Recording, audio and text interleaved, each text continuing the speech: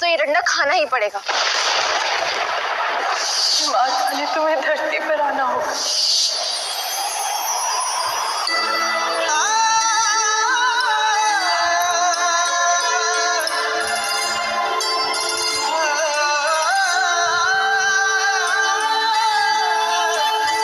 मारो। पूरी करो अपनी शपथ राधा।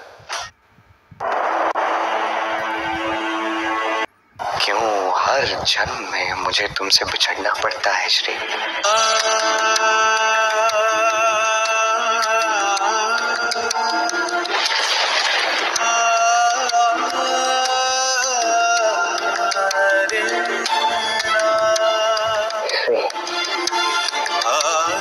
जो कुछ भी हो जाए ना इस जन्म में मैं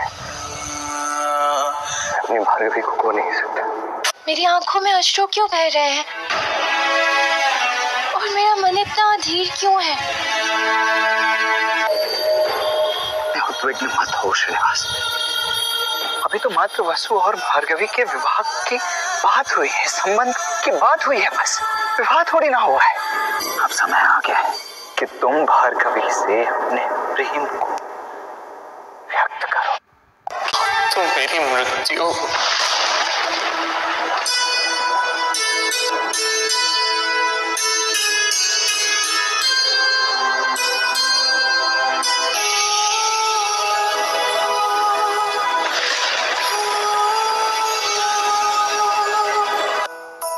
कुछ नहीं होगा, कृष्ण। कि मेरे इस छोटे से जीवन में मुझे तुम जैसे मित्र मिले। ऐसा मैंने क्या किया था कि मुझे इतनी अच्छी मित्र दे दी आपने। बाहर कंस की दुष्ट सेना मेरी प्रतीक्षा कर रही है। और यहाँ मेरी मृत्यु। पर मेरी मित्र मेरी मित्र यहाँ भी मुझे साहस देने का प्रयास कर रही है।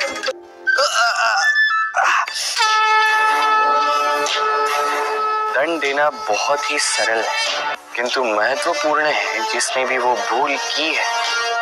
उसे उसकी भूल का आभास कराना तभी वो सही मार्ग पे आते हैं। दंड देने से नहीं किंतु काकी ने संपूर्ण परिवार के प्राण संकट में डालकर ठीक नहीं किया। वही तो कान्हा और उससे भी बुरा किया। मैया को रुलाकर। न्याय यही कहता है कि एक माता के अश्रुओं का मोल केवल दूसरी माता के अश्रुओं से पूर्ण होता धन्य आप। मेरे प्राण बचाने के लिए आपने आपके प्राण संकट में डाल दिए। और धन्य है ये माता जिनकी कोख का ये मोती। इसे अन्य मैया की आँखों से मोती ना गिरे, इसलिए अपने प्राण दांव पर लगा रहा है। पर अच्छा किया कि अंतिम बार अपनी मैया को प्रणाम कह दिया। प्रेम का आश्रम, उसका मान, उसका लक्ष्य और उसका शास्त्र भिन्न है। प्रेम सबसे कठिन शास्त्र है और सबसे सरल।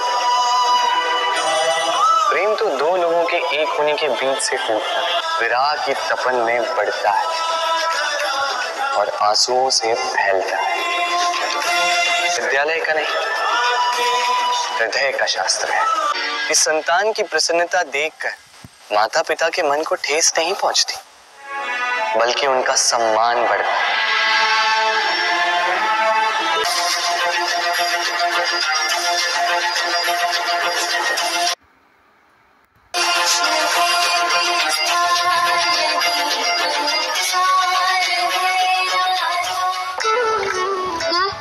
समझे?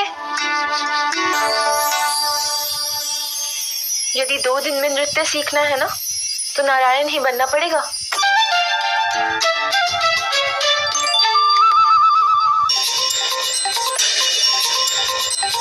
कृष्ण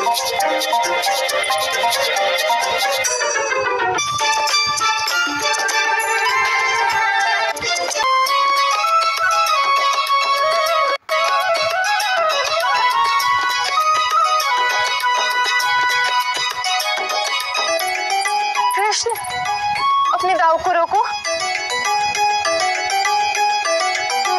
मेरे दांव एक बार शुरू हो जाते ना फिर रुकते नहीं है। नृत्य नहीं कर रहे हैं। पीट रहे हैं सबको। देखिए कर काटी देखकर उससे झगड़ा मोल लेना चाहिए था ना? अब मैं कुछ नहीं कर सकता। अब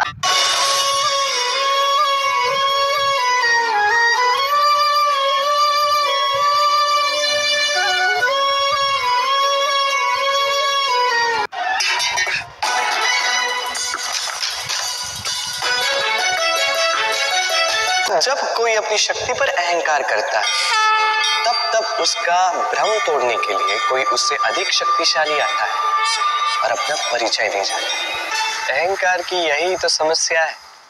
सबसे पहले जानने वाली बात मनुष्य सबसे बाद में पूछता है। मेरे बहुत सारे नाम किसी के लिए मैं मोहन श्याम तो किसी के लिए मैं गोपाल। मैया के लिए मैं कान्हा हूँ तो गाँव वालों के लिए मैं यशोदा नंदन फिर मुरलीधर गोविंद आनंद और रही बात रहने की बड़े भैया। तो मैं यहाँ भी हूँ और वहाँ भी आपको मारने वाली इस गैया में भी शरीर को ठंडक देने वाली पुरवैया में भी राधा में भी हूँ आप में भी हूँ सुख में भी हूँ और दुख में भी हूँ। मैंने नाम पूछा है तुम्हारा। मेरा नाम है कृष्ण। तुम्हें नहीं आना चाहिए था यहाँ मौसम ठीक नहीं है ना? क्यों? मौसम की मार केवल मुझ पर है क्या? तुम भी तो यही हो। तुम क्यों नहीं गए? जब जानता हूँ कि तुम यहाँ आने वाली हो तो मैं कैसे जा सकता जानती थी। जानती थी कि तुम मेरी प्रतीक्षा कर रहे हो